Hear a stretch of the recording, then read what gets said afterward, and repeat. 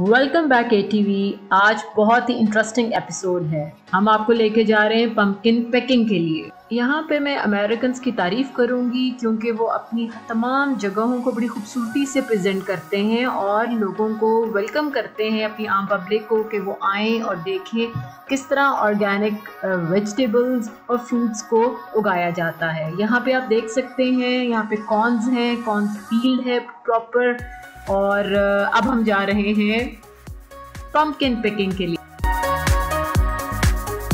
चूँकि कोविड 19 के डेज़ चल रहे हैं, इन्होंने यहाँ पर मेंशन किया हुआ था कीप सिक्स फीट डिस्टेंस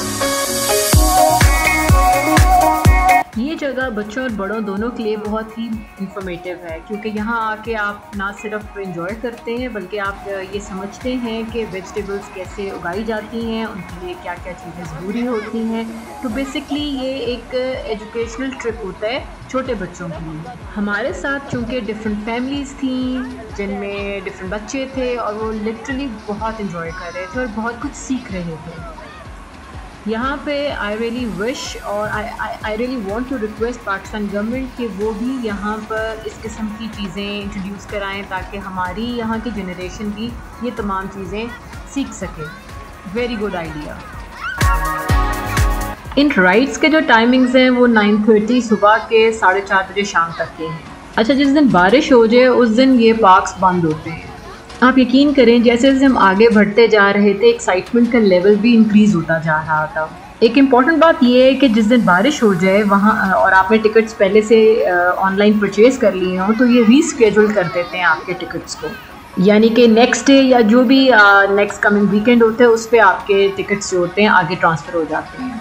अच्छा इस फार्म पर आने के कुछ इंपॉर्टेंट पॉइंट्स हैं जो आप नोट कर लें। अगर आप लोगों ने इसके लेट से आप राइड नहीं लेना चाहते बट स्टिल आप आना चाहते हैं तो इसकी एंट्रेंस फ्री है, क्योंकि इसके अंदर मार्केट्स हैं, इसके अंदर लोकल्स ने अपनी प्रोडक्ट्स स्टॉल पे लगाए होते हैं, और अगर आप राइड लेना चाहते हैं तो पर पर्सन एट डॉलर्स आपको कॉस्ट करेगा। इसके अलावा अनदर इंपॉर्टेंट पॉइंट है, यहाँ पे एटीएम की फैसिलिटी भी अवेलेबल है। एक और चीज़ जो बहुत इंपॉर्टेंट है, आप अपना कोई भी पेट डॉग कैट बर्ड और मंकी वगैरह साथ ही लेके आ सकते हैं। गोरों का एक इवेंट होता है हेलोइन के नाम से। उस इवेंट को मद्देनज़र रखते हुए इन लोगों ने इस फार्म हाउस पर एक कॉर्न मेज़ भी बनाया हुआ है, जो रात के टाइम पे इन्होंने जोम्बीज़ का इफ़ेक्ट दिया होता है। बच्चों के लिए काफ़ी एक्साइटमेंट है यहाँ पे। मैं, मेरी वीडियो के एंड पे आप ज़रूर देखिएगा। आप यकीन करें यहाँ पर हर शेप के हर साइज़ के हर कलर के पम्पकिन अवेलेबल होते हैं।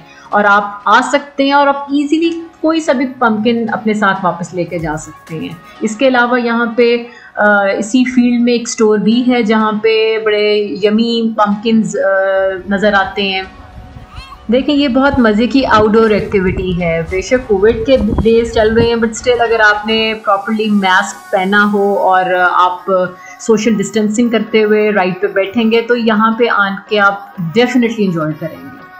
अमेरिका चूँकि काफ़ी बड़ा मुल्क है so if you are travelling from a distance we recommend coming early in the day to avoid capacity limitations अच्छा अब आप ये देखें, बच्चों के लिए यहाँ पे शूटिंग का एक था, कुछ यहाँ पे बाहर इंटरटेनमेंट के लिए मार्केट थी, जहाँ पे लोकल्स के अपने हाथ से बनाए हुए कपड़े बैग्स इस किस्म की चीज़ें भी अवेलेबल थी। इसके अलावा कुछ फ़ूड स्टॉल्स भी थे, यानी कि अगर आपको भूख लग रही है तो आप यहाँ से कुछ अपने लिए ले सकते हैं, क्योंकि आप पूरा दिन तकरीबन यहाँ पे स्पेंड करना होता है आपने। अब चूँकि रात हो गई थी और मैंने आपसे प्रॉमिस किया था कि मैं आपको दिखाऊँगी कि रात का इनका कैसा है तो आप यकीन करें ये वही जगह है, लेकिन रात के टाइम पे इन लोगों ने ऐसे लाइट के इफ़ेक्ट दिए हुए हैं कि आप बड़ा मतलब एक डिफरेंट आपको लगता है, आप इंजॉय कर, इन शॉर्ट बच्चों के लिए ये बहुत इंटरेस्टिंग जगह है।